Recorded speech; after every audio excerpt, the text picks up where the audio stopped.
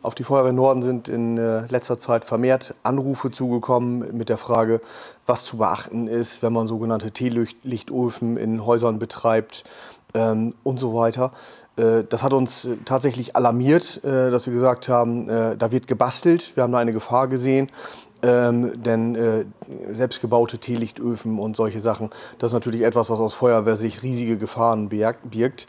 aus diesem Grund äh, haben wir einen Versuchsaufbau gestartet, haben mal äh, vorgestellt, wie ein Teelichtofen funktionieren sollte und haben, glaube ich, auch ganz anschaulich zeigen können, was eben passiert, wenn er nicht funktioniert.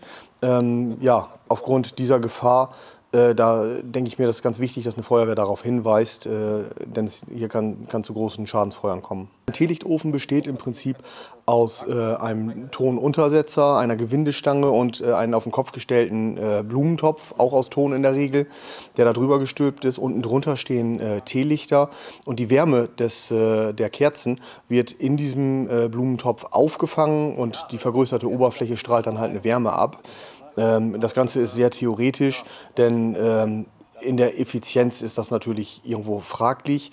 Aus Feuerwehrsicht ist aber die Gefahr das, was, äh, was da, äh, die da hervorgeht, wo man äh, darauf hinweisen möchte.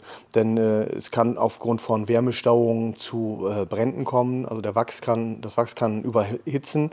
Ähm, der Ofen selber kann auseinanderfallen. Das haben wir gerade in unserem Beispielaufbau sehr schön sehen können, dass sich der Kleber gelöst hat, der Ofen dann umfällt, das Wachs spritzt durch, die, durch die Wohnung und kann eben somit Tischdecken, Tische, Gardinen und so weiter entzünden.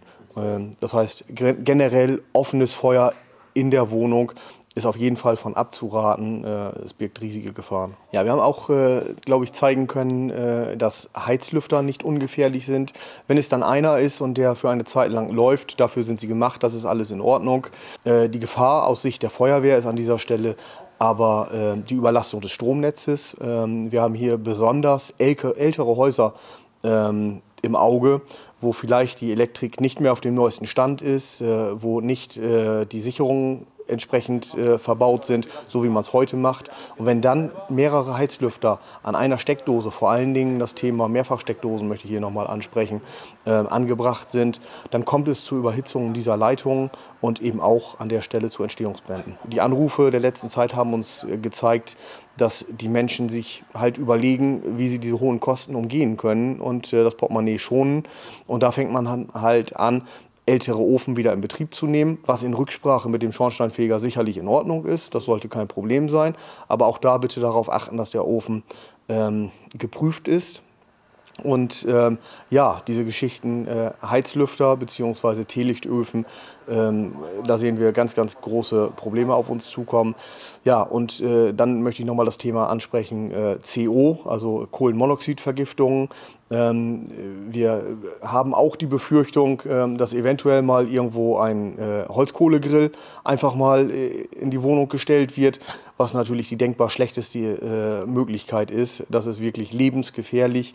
ein, Kohlen, ein, ein Holzkohlegrill, ähm, dort entweicht Kohlenmonoxid. Kohlenmonoxid ist geschmacks- und geruchslos, das heißt, man merkt das selber nicht, wird irgendwann mal müde, schläft im schlimmsten Fall ein und ja, verstirbt.